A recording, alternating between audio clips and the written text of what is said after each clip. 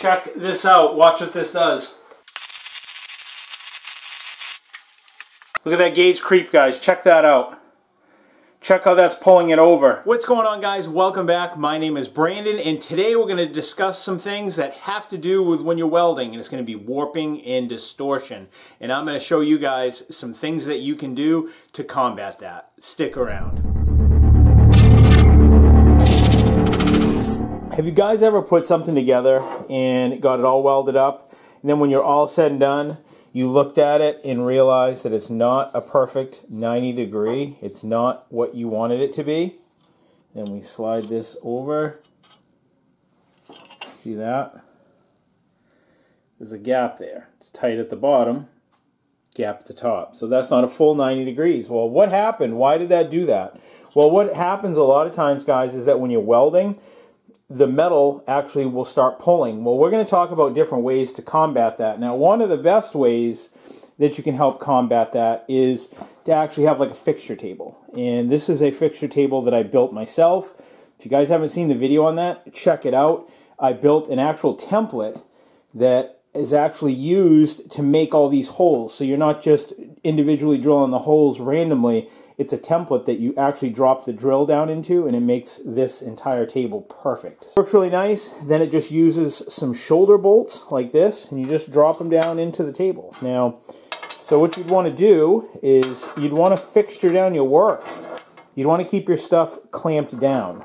And this is the easiest way to do that. This makes a perfect 90. Clamp it down using your clamps.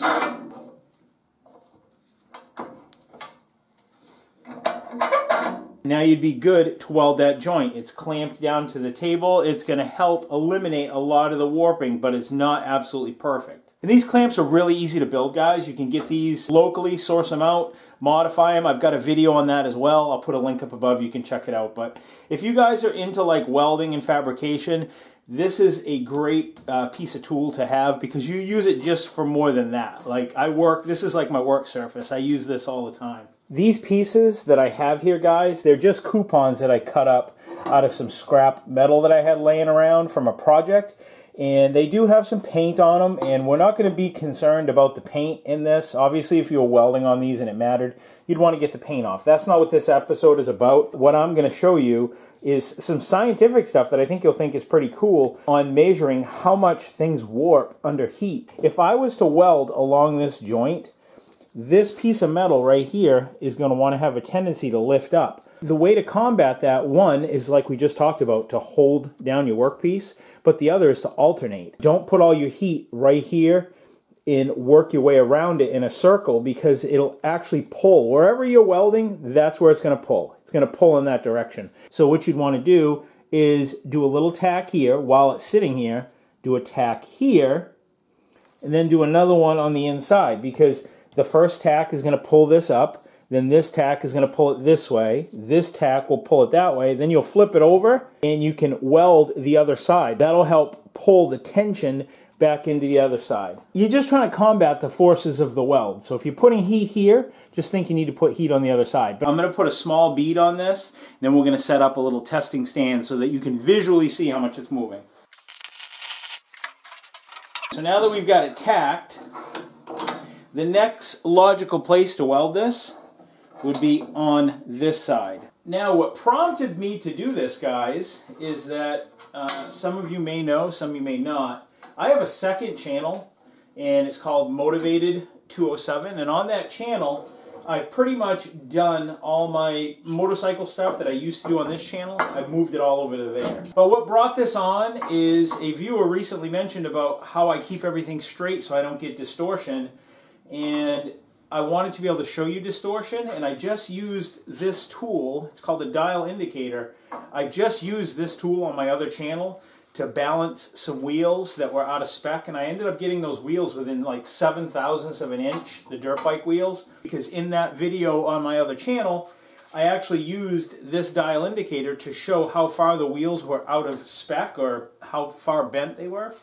So I figured this would be a great opportunity for me to set this dial indicator up and you'll actually have a visual, you'll see the dial move as I start welding the metal. the way this works, guys, is that this is a magnetic base right here. So I just turn that, now that's nice and solid. And, and then I'll just set up this gauge to however we need to set it up.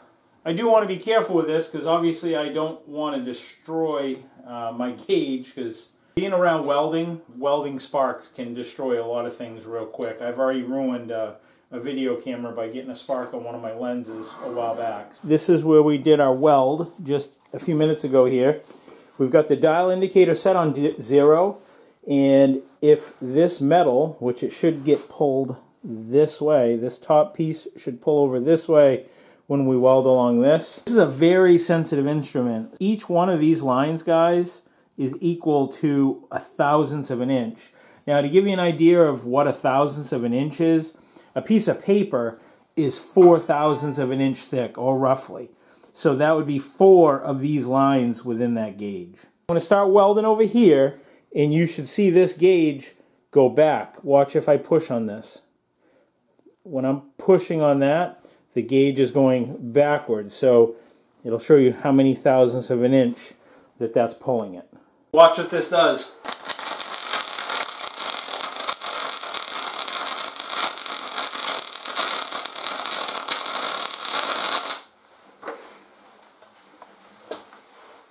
Look at that gauge creep, guys. Check that out.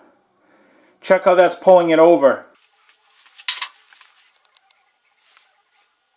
Look at that, guys. That's continuing to pull that over as it's cooling down. Okay, so that pulled that over 65 thousandths of an inch, which may not seem like much, and to the naked eye, you really don't notice that. But it's obviously not perfect anymore. It's definitely not what it was when we started and not completely flat. And the problem is, is that if you don't correct these things now, or at least know how to correct them, you know, you get 65 thousandths here, and then you got another 65 and another 65, and before you know it, you've made, you know, five, six, or seven welds down the line, and it's not just 65 thousandths anymore. Now you're at a quarter of an inch or a half inch out or whatever. Um, it all adds up, it accumulates. So, one of the things that we can do to help combat this is this weld right here. And I did this on purpose. If I just put a tack here, a tack here, a tack here, and a tack here, that would have helped eliminate a lot of this. It still would have pulled it that way, but now when I come back over here, I would only have a little tack I literally could weld a full bead, go right over my tack.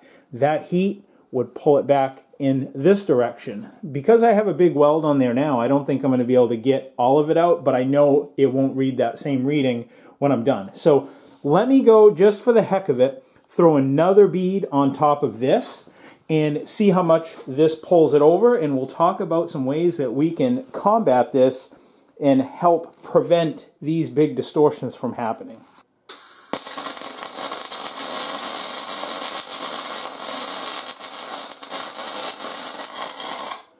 Putting a lot of heat in it.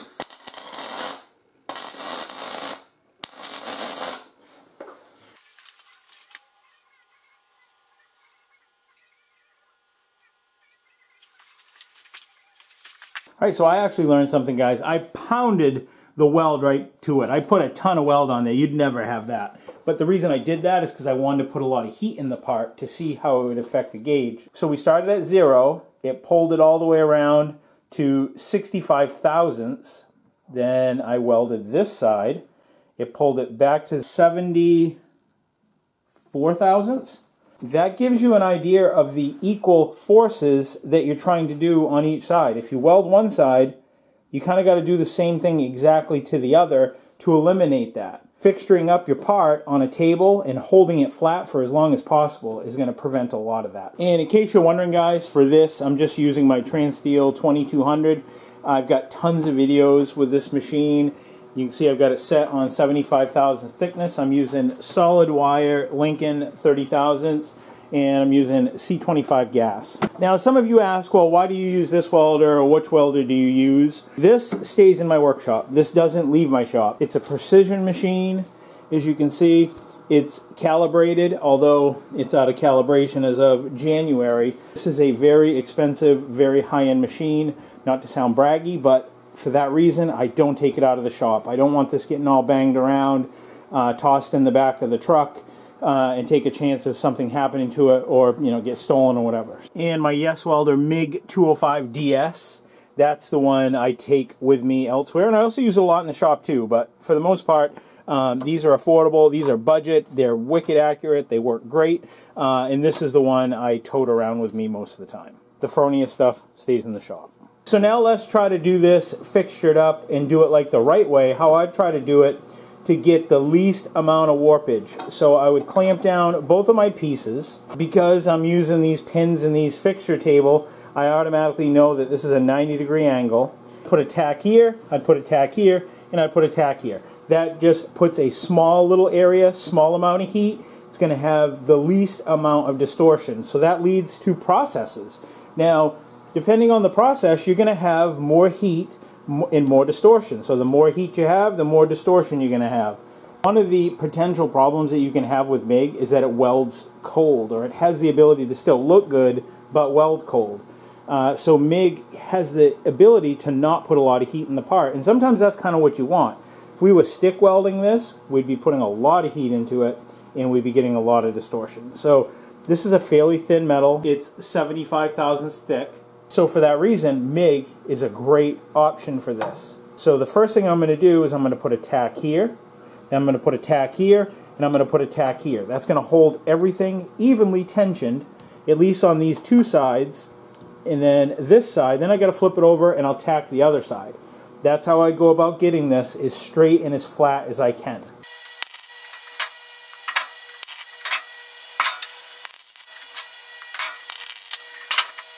Now we'll loosen our clamps, we'll set it up like we did before and see how much distortion we get.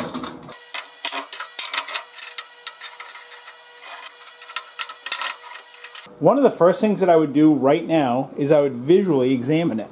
I would take a look at how things look and does something appear to be off. So let's just say you put a square on this and when you do, it tells you that this piece is going this way. Okay, I'm exaggerating. Well, the first thing you wouldn't want to do is weld this side because that's only going to make it worse. By welding right here, you're only going to pull it, as we know from looking at our little demonstration. When we weld it here, it's going to pull it that way even further. So if your piece is leaning this way, you definitely want to start on this side. Sometimes you can even cheat it a little bit by putting your hand against it and pushing it back some. You just got to remember, you can't push it beyond 90 because if you push it too far beyond 90 you're not going to be able to maybe pull it back all the way. You're just trying to create equal forces in the part. So now that I've got it tacked on all four corners, let's just say we put the square on it and it looks perfect, we can pick whatever side we want, we just have to make sure we put an even amount of heat input to it. It'll never be perfect, or very rarely, if ever, guys, especially looking at this dial, but that's why I chose this dial. Because this is, like I said, they're based on thousands of an inch. A piece of paper is four thousandths of an inch thick. So I think for, you know, the projects that we're probably doing, unless you're building a rocket ship or something like that, working in your workshop, you probably don't have to get it within a thousandth of an inch. Maybe there are times that you do, uh, but these will help you to know some of the things that you need to do to get it that much closer to being in tolerance. So with that said, I'm going to weld one side, try to put even heat in it. We'll see how much this gauge is moved, and then we'll weld the other side and see if we can pull it back that same amount.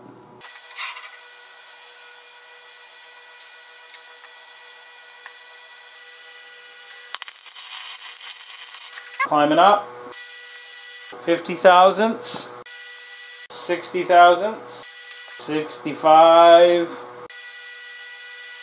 All right, let me weld the other side and see if we can pull that back the opposite direction.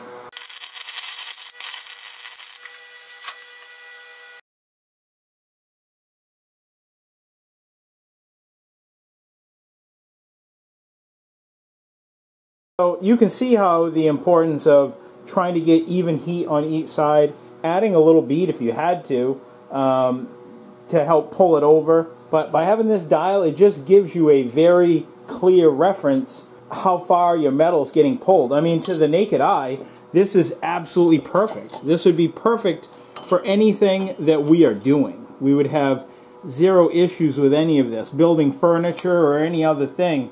Uh, you would never get it within thousandths of an inch building furniture, but I've used this uh, gauge as a demonstration just to show you how far uh, things can actually get pulled.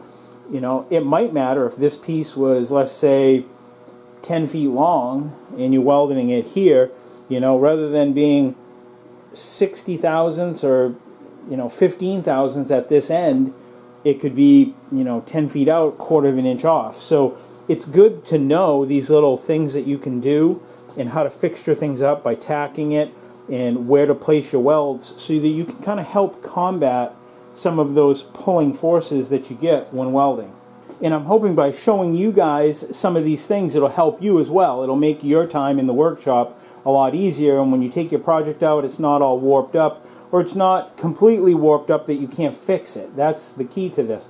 A lot of times when I'm doing stuff, I kind of just think of this stuff in my head as I'm doing it. And I know that if I'm going to be doing a lot of welding on this side, uh, that it's going to be pulling that way. So I may end up just tipping it a little extra on this side before I weld it knowing that when I put the weld over here, it's going to help draw it back in and pull it into straight anyways. So this is just a quick video, guys, on how I combat warping and distortion. I've never even talked about it, I don't think, on this channel. So whoever suggested this to me or asked me the question, thank you, because I think it's something that maybe I take for granted and it's just something that I do without actually knowing. But if you're not thinking about this stuff subconsciously as you're putting together your project, we've all had like warped up projects or we try to make something completely nice and square and it ends up coming out like a trapezoid or whatever. So anyways, I hope you enjoyed this. I hope that you find these tips helpful in the workshop. And if you do, I'd consider a like and subscribe. New videos every Friday. If you're wondering what I'm working on before it makes it up to YouTube, you guys can catch me on Facebook and on Instagram. And if you want to see what I'm doing over on my hobby channel, go check me out, Motivated207. I'll have a link